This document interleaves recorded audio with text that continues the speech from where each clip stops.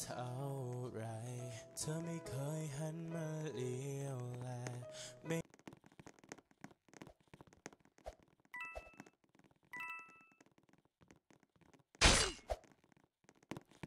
ฟังหาพ่อไง